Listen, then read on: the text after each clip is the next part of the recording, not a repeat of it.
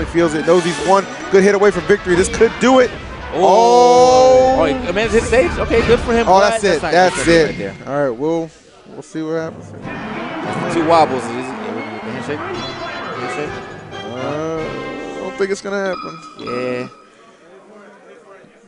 Wait, wait, are we, Uh, yeah, he, he knew, he knew. He all right, knew, all he knew. So he knew he didn't put his hand out. Good That's read, good guy. read by Nintendude Good- to not extend even the outside hand. the game, Like, the even has a good outside, great read. Like- from Nintendude. Knew not to extend the hand. Like, uh, good patience from Nintendude. All right, so that is that is That's- the end that's of Xanadu it. That is uh, our- that is our tournament. eleven thirty-five, pretty good uh, in time.